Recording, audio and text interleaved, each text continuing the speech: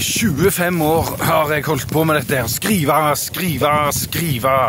Gå i fjellet, svette, svette, fiske, skrive, skrive. Nå kommer det en ny bok. Den handler om en mann som heter Tollak, som har elsket kona si Ingeborg så sterkt som noen mann kan elske ei kvinne, og som nå ikke har mer tid igjen, og som tenker at da får jeg begynne å fortelle. Den fins 4. september, ja. Og jeg blir selvfølgelig takknemlig hvis noen vil eh, lese det. Eh, du får den f.eks. hos eh, Nordli.